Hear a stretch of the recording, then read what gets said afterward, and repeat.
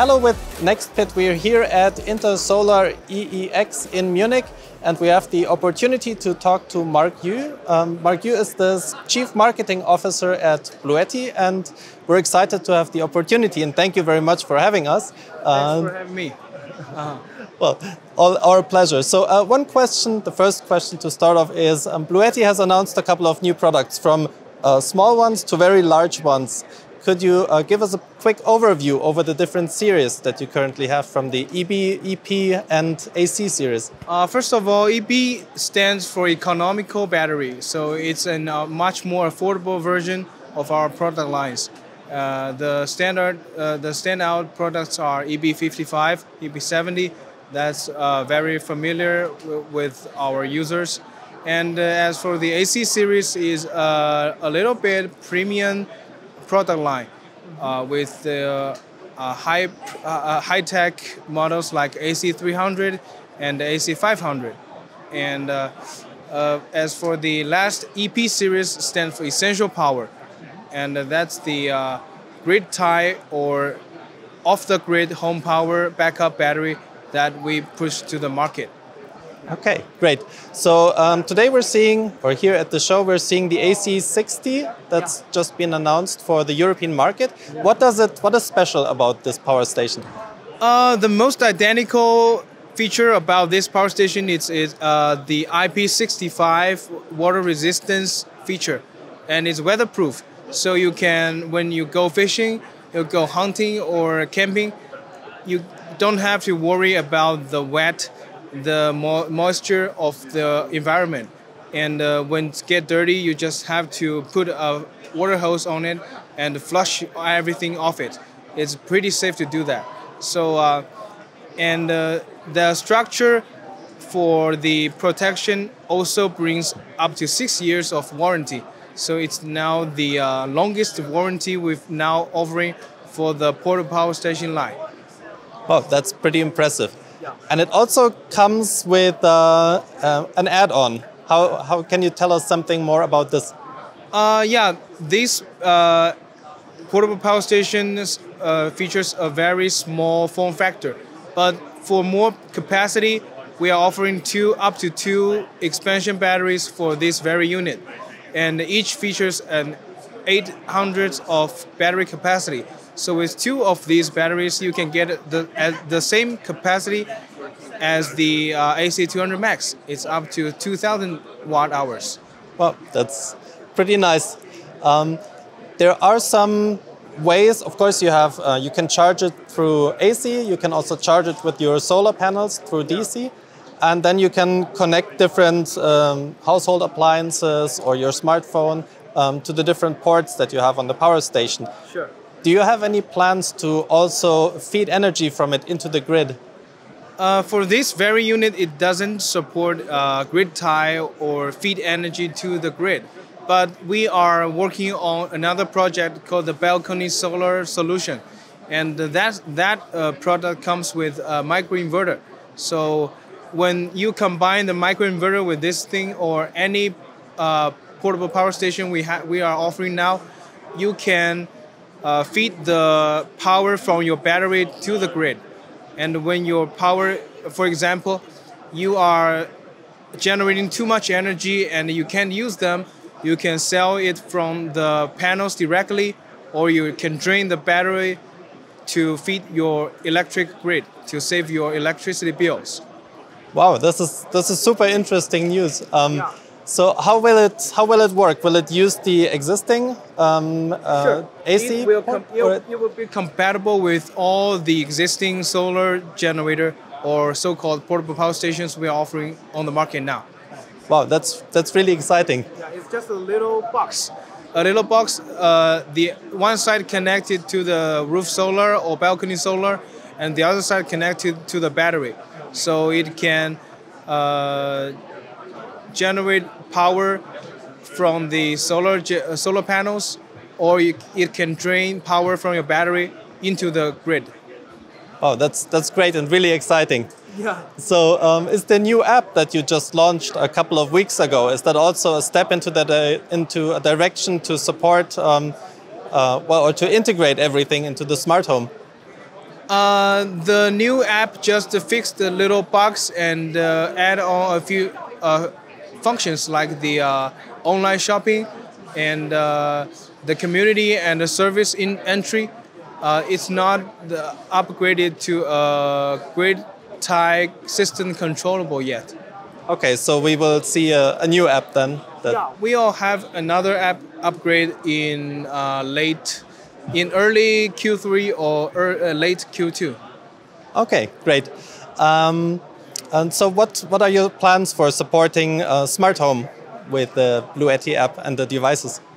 Uh, for example, just like we mentioned uh, earlier, we have the uh, balcony solar project on the way, and uh, we also have things like uh, smart plugs, smart monitor to have everything that's going on with our home circuit or grid with the monitoring system, and we can see everything that's happening on the smartphone app, and uh, we can have like uh, data summarize, uh, analy- anal- analytics, and even the forecast. For example, when you have a storm or a tornado around your area, you, your phone will receive a new text about the upcoming disaster. So your system will start saving energy and storing electricity to prepare for the upcoming event. Wow, this is really smart. Yeah, that's the uh, internal plan. Okay, great. So, when can we expect some news around this? Uh, we should have the balcony solar system available by the fourth quarter. So uh, news should come out before November. Yeah, we'll start releasing some of the information from November. Okay, fantastic. So uh, let's move on to a different product category, the um, EP series.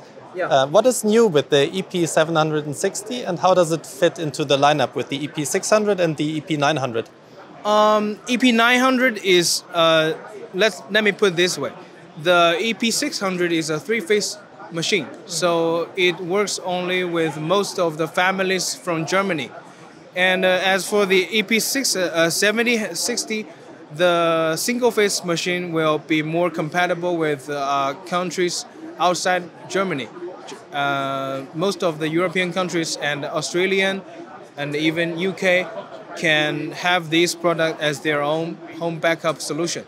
And uh, for EP900 is just uh, an another version for the United States or Canada market. They are basically the same structure, just a, a few different in specs for different countries. Okay, so it's, I assume it's very complicated to deal with the different regulations, the different power systems that you have all around the world. So, what is the how do you deal with this big challenge? Uh, it's not really a big challenge when we're developing the products, but it can be uh, pretty complicated for users to get permissions from their government or grid company to install the uh, grid tie system into their home. So we've developed another system called the EP800. It looks identical to this thing, and uh, they have they share the exact same design, but that system doesn't need to be grid tied. So you can use it off the grid and without any permission from the grid company or your government. And you can use it just the only difference is that you can sell the electricity back to the grid. But as the incentive shrinks, there's much there's no not much more we can earn by selling electricity to the grid. So we can just store the energy, use it when we need it, and uh, even when the electricity bill uh, electricity is cheap at night, you can store them at night and use them when you need them uh, in during daylight. So there's uh, peak load shifting. Yeah, yeah. So there's multiple ways to save money than just the selling power to the grid. And uh, for uh, products like the off-grid system, uh, for example, the EP800 it can be pretty easier to install by just any electrician or an uh, skillful adult. Yeah, so it doesn't require professional installation, and that's the uh, major feature about the upcoming EP800. That's really nice, and I, I can tell from experience that it's very, very difficult to even find an electrician, a skilled yeah. electrician that has the capacity yeah. to install a product. And uh, very expensive too. Yeah, yeah they can charge uh, pretty much uh, half of the machine's worth to install for your home. And you have to get permissions from the government. And sometimes the permission also costs a dime. So uh, for many customers, they are not very uh, passionate about install a very complicated system in their home. So I think EP, EP800 may be another huge chance for us to expand into the uh, home backup market. Great. I want to expand on something that you uh, mentioned before that you can uh, store cheap energy at night sure. and then you can use the energy during the day when it's more expensive. Yeah. Uh, now there is a trend uh, in various markets to dynamic energy tariffs so that you have different energy prices every hour and every day. Um, yes. Are there some plans to uh, from Bluetti to react to this as well? Uh, we've already encouraging customers to do this with the current production line, like the uh, AC200 and the AC300. They are off-grid products, but they can also store energy when it's cheap and uh, use it when the energy price goes up. So uh, it's a pretty normal take for most of our customers. They're already doing it. All right, great. Uh, so, what is the vision for Bluetti for the next three years, and how, how do you see yourself in the in the market? Uh, you know, we've been making home backup batteries since 2013, 10 years ago. And the reason why we put out portable power stations because we want to uh, get in touch with more customers so they can know the name we are using as uh, as we can as we're doing now. Uh, so many more customers can know Bluetti, and by having more customers, we are able to get more people to know about our expensive, uh, rather expensive production line, the EP series. So. Uh, mm, the ultimate target of our company is to have the home backup solution for every family.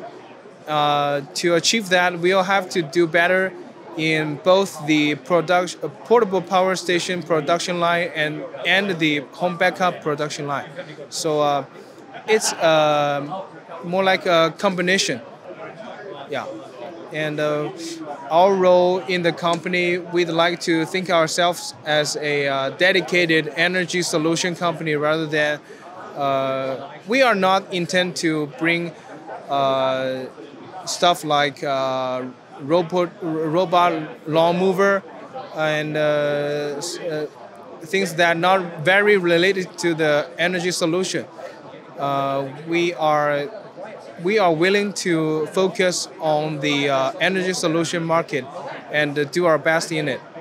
Okay, great. So, what do you think is uh, the most important change that we'll see in the future in the energy market?